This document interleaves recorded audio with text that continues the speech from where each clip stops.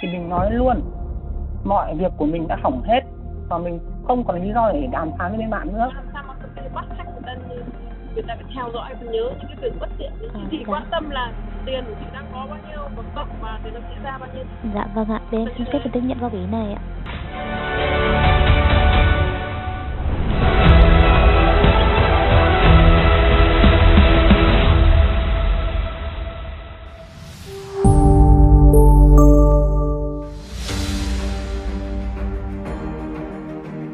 Hai bốn bảy thì à, như tên ấy là mình phải trực 24 giờ trên 7 ngày cho nên là bộ phận của chúng mình thì là luôn luôn làm việc suốt và không có một giây phút nào nghỉ Ờ, chúng mình là thường chia ca và thường là làm việc liên tục suốt từ 6 giờ sáng cho đến xuyên nửa đêm tiếp nhận các cuộc gọi của khách hàng à, và xử lý giải quyết các khiếu nại của khách hàng. Mọi người thì hay ví chúng tôi là như một cuốn bách khoa toàn thư để có thể trả, trả lời giải đáp tất cả những thắc mắc của khách hàng.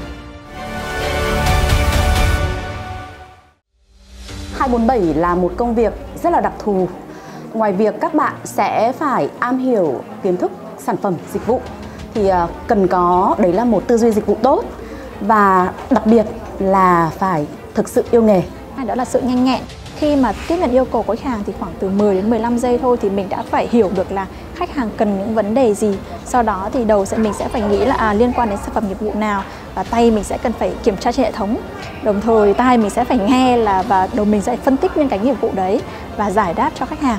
Khả năng ờ, lắng nghe. Sự ờ, nhanh nhạy trong công việc. Kỹ năng xử lý khéo léo nghe được à, và thấu hiểu được những cái vấn đề của khách hàng. Mình có tệp khách hàng là người ờ, Trung Quốc ra là cũng hỗ trợ được cái tệp khách hàng này. Với minh Hảo ở treo lại mình y là chưa si banh yến tháng đó. Gần như lúc nào cũng là cao điểm. Có khi mà mỗi một người là phải nhận đến hàng trăm cuộc gọi trong một ca trực của mình. Mà như mình có nói là mình trực suốt cả 247 24 giờ ấy là hết cả ngày đó luôn. Thì lúc nào là cũng phải uh, sẵn sàng là hiểu biết hết tất cả các những cái dịch vụ những cái khó khăn của khách hàng để mà nhanh chóng hỗ trợ khách hàng sớm nhất có thể và để có thể là hỗ trợ khách hàng tiếp theo.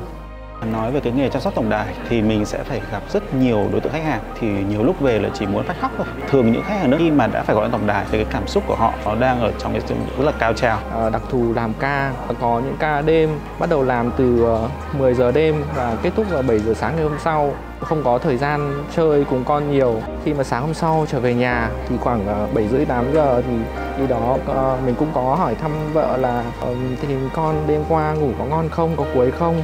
Một câu trả lời rằng là, con ngủ ngoan, không quấy gì cả. Thì mình cũng cảm thấy là được yên tâm hơn và vững tin hơn để có thể tiếp tục gắn bó với công việc hiện tại. Và những cuộc điện thoại thì đa phần là không được ừ, ngọt ngào cho lắm. Những bạn à, trực ca ấy thì à, khá là biết tiết chế cảm xúc xúc để hỗ trợ khách hàng một cách tốt nhất.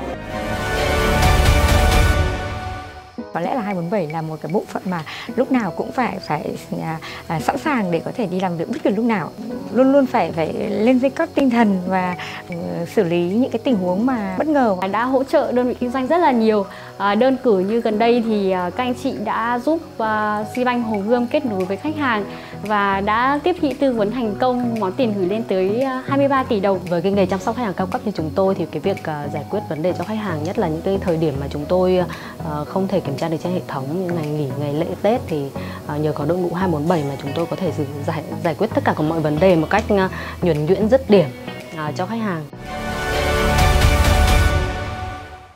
Tại vận hành dịch vụ đa kênh ờ, thường xuyên có những chương trình ờ, teamwork có thể đó là những cái hoạt động giao lưu nội bộ để gắn kết các bạn uh, trong team hoặc đơn giản chỉ là những buổi chia sẻ đào tạo nội bộ để giúp cho các bạn tăng thêm uh, kiến thức về sản phẩm dịch vụ và đặc biệt thường xuyên trong bộ phận này cũng như từ ban lãnh đạo khối vận hành sẽ có những uh, động viên uh, về tinh thần cũng như là uh, những món quà vật chất uh, để các bạn có thể uh, thêm uh, yêu công việc thêm gắn bó với nghề 247 cũng như là thêm gắn bó với Sibank. Luôn luôn có cái cảm giác là mình có thể giúp đỡ mọi người, mình đang hỗ trợ khách hàng để cho cả khách hàng và ngân hàng đều hướng tới một cái tốt hơn. Đợt gần đây thì Sibank có um, đợt tăng lương và mình thì cũng là một trong những nhân viên à, được nằm trong à, diện tăng lương đó. Mình cảm thấy rất là hạnh phúc và hãnh diện vì à, những à, cố gắng và nỗ lực của mình à, cuối cùng đã được ghi nhận.